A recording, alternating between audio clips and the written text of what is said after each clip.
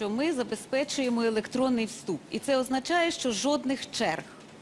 Якщо ви маєте вдома комп'ютер і зв'язок з інтернетом, ви можете подати з дому всі документи на вступ.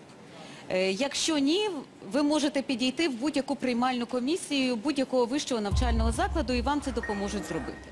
Друге, ви можете подати 15 заяв на 5 спеціальностей. І це розширює ваш доступ за тими п'ятьма спеціальностями. В різні вузи зразу уточняю. Е, так, у різні вищі навчальні заклади, але ви орієнтуєтесь саме на ту спеціальність, яка вам подобається. Так само працює автоматизована система розподілу.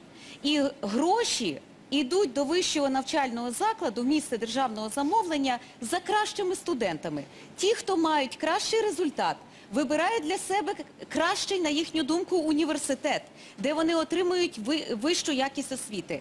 І для нас це принципово важливо, тому що, по-перше, це гарантує справедливий доступ тих, хто склав зовнішнє незалежне оцінювання, а по-друге, Тобто діти отримують право безкоштовного навчання будь-де на їх вибір. Так, на їх вибір вони виставляють пріоритети, результат їм дозволяє, вони потрапляють в цей університет.